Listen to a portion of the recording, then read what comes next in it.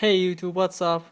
In this video I'll show you how to remote your computer by using iPhone or iPod or iPod touch devices. So, I'm using system Ubuntu LTS Final Beta 12.4 and the application which is controlled remoted is Hippo Remote. I'll put the link in the description so you can download it and install on your devices. So let's start.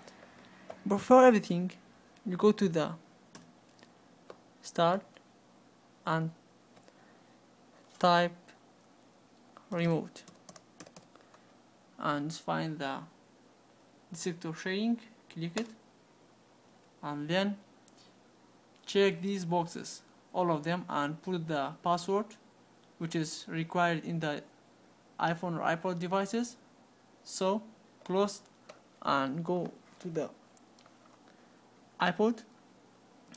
As you see this is the Hippo remote application that using for remoted so go to application and as you see it's automatically find your computer. By the way your devices must connect to the wireless connection internet and as you see it's throw approach this computer.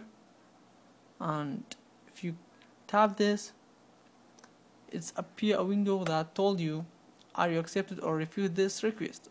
Of course if you want to control or remote it and allow this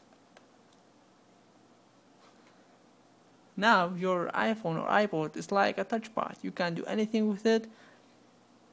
And you see this is the mouse can click right using keyboard and you can do anything controlled so thanks for watching guys and don't forget subscribe.